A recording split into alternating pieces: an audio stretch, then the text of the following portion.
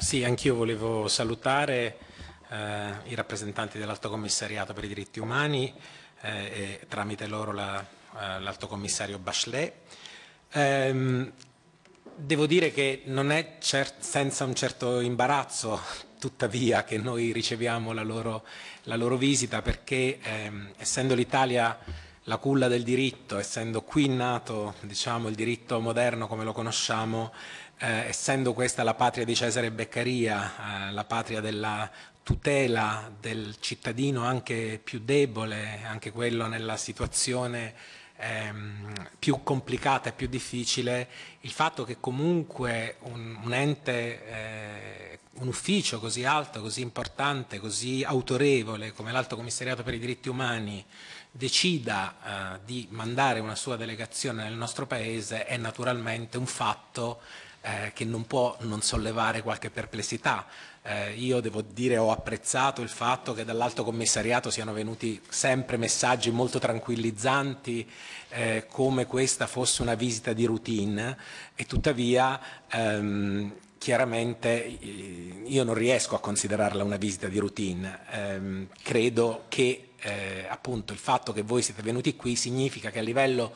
internazionale si esprimono preoccupazioni che, per quello che è il linguaggio di odio e in particolare ciò che più preoccupa è che questo linguaggio di odio non si stia diffondendo soltanto eh, diciamo, a, nella popolazione in generale, ma che questo, eh, diciamo, questo abbrivio, questo eh, andazzo si stia verificando sulla base del fatto che dalle classi dirigenti eh, da chi quindi ha la responsabilità di gestire politicamente il Paese e di dare, come io credo sempre succede a chi ha responsabilità così importanti, un po' il senso del buon esempio, il senso di quello che diciamo anche moralmente, eticamente fare, è proprio da lì che sta arrivando un messaggio diseducativo eh, al resto della popolazione. È chiaro che l'uomo, la donna med, diciamo medi, eh, se sentono persone che hanno responsabilità apicali, responsabilità di vertice all'interno del Paese, sdoganare un certo messaggio, può legittimamente sentirsi autorizzato o autorizzata a utilizzare lo stesso messaggio. Ed è una preoccupazione, secondo me, eh, di non mh, trascurabile entità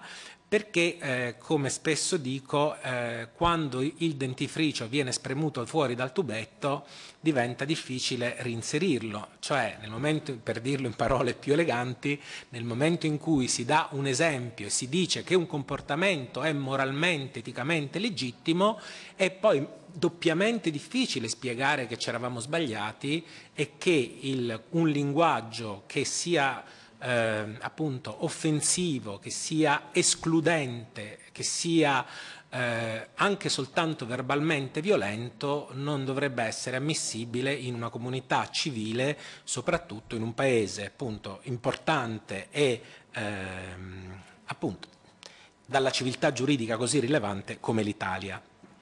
Eh, io voglio segnalarvi, ai fini vostro, dei vostri lavori, che noi eh, tuttavia in Italia abbiamo un'importante legge eh, che si riferisce proprio al discorso d'odio e che quindi eh, punisce con sanzioni penali eh, i discorsi di odio eh, legati appunto alla xenofobia, all'antisemitismo, eh, in generale alla nazionalità e alla religione. È la legge che noi definiamo legge Mancino, dal nome dell'ex ministro degli interni che all'epoca ne fu uno dei promotori, ed è una legge che recepisce con modificazioni eh, la Convenzione internazionale sull'eliminazione di tutte le forme di discriminazione razziale che fu fatta a New York il 7 marzo del 1966. La quindi la Convenzione viene recepita nell'ordinamento italiano nel 1975, poi nel 1993 ehm, viene approvata la legge Mancino, quindi questa legge contro,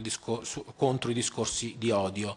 Eh, devo dire che è una legge che spesso è stata attaccata da taluni, taluni parti politiche in Italia, eh, di tanto in tanto sentiamo anche esponenti politici di, prima, diciamo, di primo livello affermare che la legge Mancino sia una legge che limita il diritto di opinione, cioè si tende a confondere eh, il discorso d'odio con la libera espressione delle opinioni, come se offendere qualcuno e eh, utilizzare termini appunto escludenti nei confronti di una minoranza eh, rappresentasse una qualsiasi opinione che va, liberamente, che va liberamente espressa e quindi tutelata. Eh, di conseguenza spesso sentiamo dire eh, cose di questo genere. Io voglio segnalare, perché mi sembra un fatto, io adesso non voglio connotare dal punto di vista di parte, però i fatti storici non possono neanche essere eh, negati o nascosti, che il 14 gennaio di quest'anno il vicepresidente del Senato della Repubblica Italiana, quindi un'alta autorità dello Stato, è stata condannata a un anno e mezzo di reclusione dal Tribunale di Bergamo per aver definito la ex ministra Cecil Chienghe, che è la prima donna eh, di colore che sia pervenuta venuta a un ruolo di governo in Italia per, averla, per aver detto che eh, ehm, la ministra, ex ministra Chienghe eh, gli ricordava un orangotango un, grande, un primate, diciamo, una scimmia di grandi dimensioni. Eh, ripeto, si tratta non di un passante che ha espresso queste opinioni, ma del vicepresidente del Senato recentemente rieletto alla carica, eh, segnalo anche che è il, diciamo, il più eletto tra i vicepresidenti del Senato. Segnalo anche che sempre al Senato della Repubblica eh, la Presidente della Commissione diritti umani, che è stata recentemente eletta con i voti della maggioranza di governo, quindi eletta al primo scrutinio, credo eletta molto rapidamente, eh, è stata anch'essa eh, diciamo, protagonista di un processo penale poi archiviato, eh, ma anche lei è stata eh, diciamo, indagata per istigazione dall'odio razziale. Ora capite che scegliere come Presidente della mh, Commissione diritti umani una persona che sebbene archiviata, cioè sebbene il provvedimento penale sia stato concluso senza luogo a procedere, abbia comunque interessato la magistratura a aprire un fascicolo per istigazione dell'odio razziale significa dare un messaggio al Paese che la Commissione diritti umani di fatto non serve a niente, perché se io prendo una persona che con i propri comportamenti ha negato quei valori e la metto a presiedere quella commissione, è un po' come dire è una commissione inutile, una commissione, diventa un po' uno sberleffo, diventa un po' una burla eh, rispetto a chi invece pensa che i diritti umani siano eh, una questione estremamente importante. Segnalo sempre a proposito della legge Mancino che sono ormai eh, direi decenni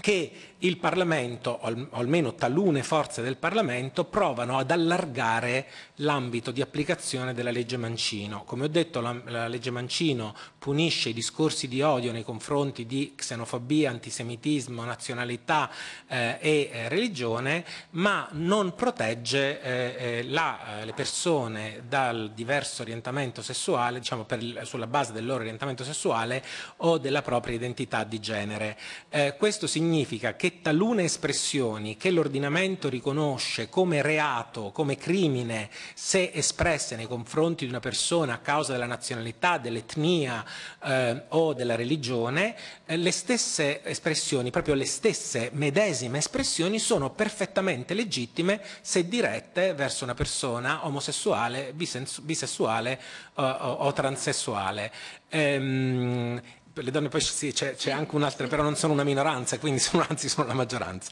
le donne. E, ehm, e quindi, eh, nonostante si sia provato in più occasioni, la opposizione all'allargamento di, eh, di questa legge a protezione della, delle persone LGBTQI eh, è stato diciamo, ehm, fieramente ehm, eh, eh diciamo, ha trovato un'opposizione fiera da parte di larghissimi settori dell'opinione pubblica che ancora una volta hanno sostenuto la tesi che la eh, omofobia eh, sia in realtà espressione di una libera opinione, cioè utilizzare linguaggi anche verbalmente violenti di esclusione nei confronti delle persone omosessuali, bisessuali e trans è considerata eh, diciamo, da una larga parte della popolazione sicuramente da una larghissima parte del ceto politico, tant'è che non si riesce ad arrivare all'approvazione di una legge in, questo, in questa direzione, eh, una espressione di una libera opinione, eh, quindi potete capire eh, quale sia anche la qualità della vita che si trovano ad affrontare le persone LGBT eh, nel nostro Paese. Ehm, aggiungo l'ultima cosa, come voi avete avuto occasione di incontrare eh, l'UNAR, che si chiama eh, UNAR, l'acronimo di UNAR sta per Ufficio Nazionale Antidiscriminazioni Razziali. Quindi già nel nome eh, c'è, scritto che in realtà l'UNAR è stata creata soltanto per avere a che fare con le discriminazioni basate sulla etnia, come preferiamo dire in italiano, perché il concetto di razza ci fa fatica rispetto agli esseri umani, eh, quindi non, non, suona giustamente bene. Ehm, però eh, diciamo, l'UNAR ha di fatto negli anni allargato il suo ambito di azione anche ad altro tipo di discriminazione, ma sempre in modo un po' ufficioso, quindi non in modo ufficiale, essendo per questo spesso eh, diciamo, accusata da talune forze politiche di andare al di là eh, del proprio compito e essendo spesso minacciata da forze politiche presenti in Parlamento eh, della necessità di chiudere l'UNAR, eh, al contrario di quello che invece io credo si dovrebbe fare e immagino che, eh, come voi sapete benissimo, l'Ufficio Nazionale Antidiscriminazione, proprio perché è un'autority che dovrebbe controllare la politica controllare il governo, dovrebbe per sua natura essere totalmente indipendente dal governo, perché è chiaro che un'autority che, che eh, dipende da, da, dalla Presidenza del Consiglio dei Ministri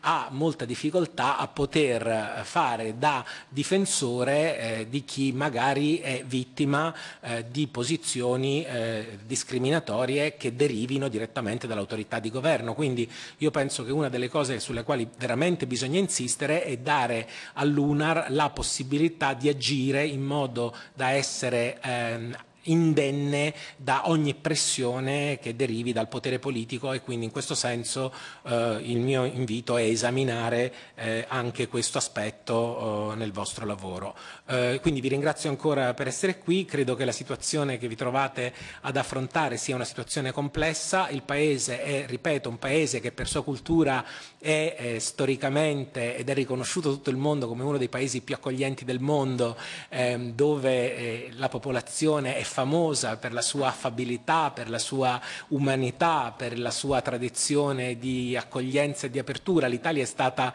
anche per la posizione nel, centrale nel Mediterraneo, è stata casa eh, di, molti popoli che ci hanno invasi e che hanno lasciato un pezzo della loro cultura. Gli italiani eh, diciamo, hanno tutti i colori di occhi e di capelli possibili ed immaginabili proprio perché siamo stati per tradizione un luogo di passaggio di tanti popoli e questa è forse una delle grandi ricchezze del nostro paese. Per cui devo dire, ho chiuso, sì. eh, è chiaro che una situazione come quella che vi conduce qui in quest'Aula eh, rattrista doppiamente proprio perché va contro quella che è la cultura cultura, la tradizione del nostro Paese.